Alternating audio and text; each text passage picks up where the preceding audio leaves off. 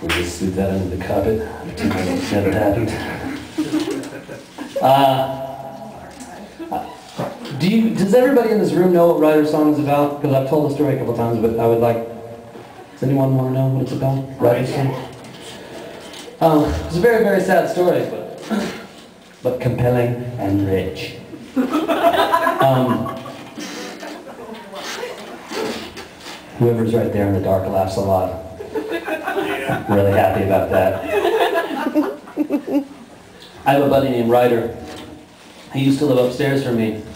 And um, right when I moved in to uh, the house that I live in right now, just not too long ago, like a year ago, year and a half ago, and uh, he was going through this thing where essentially he and this girl, this girl uh, they fell in love. They do what people do in, sometimes when they fall in love, and she got pregnant.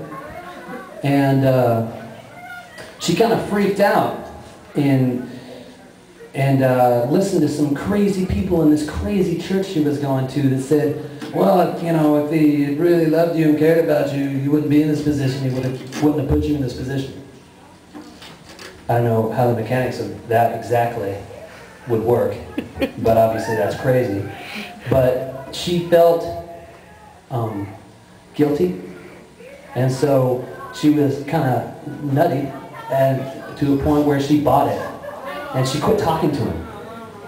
And he was, his heart was broken. Like I moved in and like I could see it on this guy's face. I didn't even know him. I could tell his heart was broken.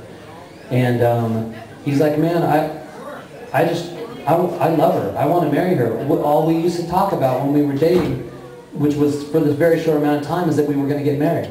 And now it's crazy. It's like she's another person. So this song is a song from him to her. asking her to, to listen to him instead.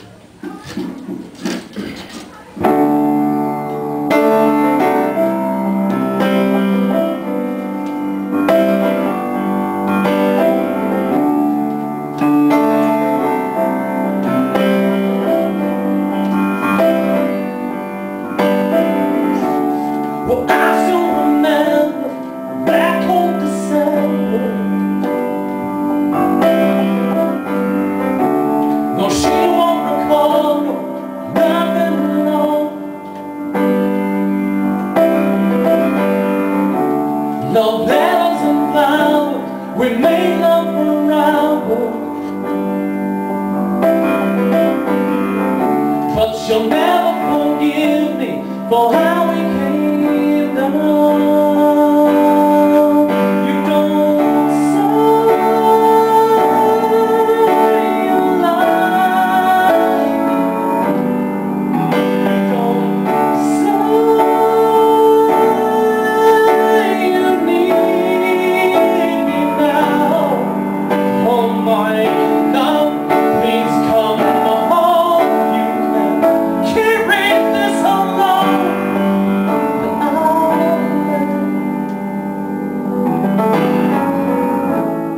好嘞